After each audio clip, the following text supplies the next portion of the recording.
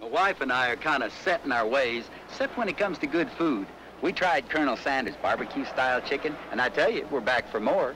It's cooked up with the Colonel's special herbs and such on the inside, and his barbecue sauce spread thick on the outside. Tell you, it gives you some tasty twang. Comes with all the fixings, too, for a real country good meal. You can't get a meal like this except from Kentucky Fried Chicken. We're gonna have barbecue-style Kentucky Fried Get Chicken. it where you see this banner.